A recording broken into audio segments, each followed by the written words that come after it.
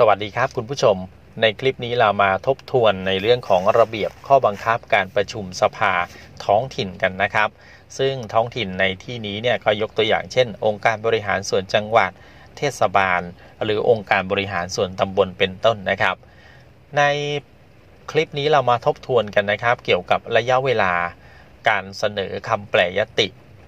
ตรงนี้เนี่ยคณะกรรมการแปลยติจะต้องกำหนดเวลาอย่างไรนะครับ แล้วการเสนอคำแปลยตินะครับ เสนอยติกรณีที่เป็นการเพิ่มเติมรายจ่ายนะครับ มีการเพิ่มเติมรายจ่าย หรือมีการเปลี่ยนแปลงความประสงค์ของจำนวนเงินที่ขออนุญาตจ่ายเนี่ยสามารถกระทำได้หรือไม่นะครับ ทั้งในส่วนขององค์การบริหารส่วนจังหวัด เทศบาล หรือองค์การบริหารส่วนตำบลนะครับ เรามาดูประเด็นแรกกันก่อนก็คือว่า กำหนดระยะเวลาการเสนอคำแปลยตินั้นเนี่ยเขากำหนดเอาไว้อย่างไร ตามระเบียบข้อบังคับการประชุมสภานะครับ ในเรื่องนี้เนี่ยเขากำหนดเอาไว้ว่าการเสนอ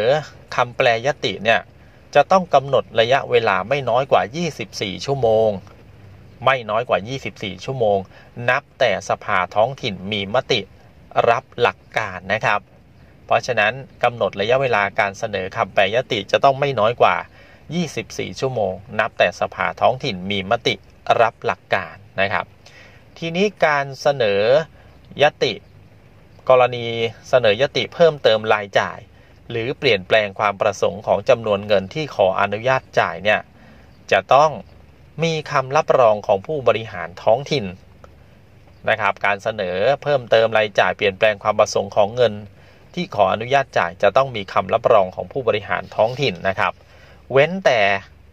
เว้นแต่กรณีที่เป็นองค์การบริหารส่วนตำบล ถ้าเป็นองค์การบริหารส่วนตำบล สมาชิกสภาองค์การบริหารส่วนตำบล จะแปลยติได้แต่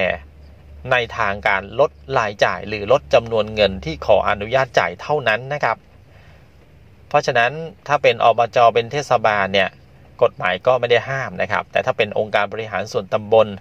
สมาชิกสภาองค์การบริหารส่วนตำบลจะแปลยติได้ในทางการลดรายจ่าย หรือลดจำนวนเงินที่ขออนุญาตจ่ายเท่านั้น ไม่สามารถเสนอยติเพิ่มเติมรายจ่าย หรือเปลี่ยนแปลงความประสงค์ของจำนวนเงินที่ขออนุญาตจ่ายได้นะครับ ซึ่งในส่วนของอบจหรือเทศบาลเนี่ยการเสนอเพิ่มเติมเปลี่ยนแปลงความประสงค์ของเงินจะต้องมีคำรับรองของผู้บริหารท้องถิ่นด้วยนะครับ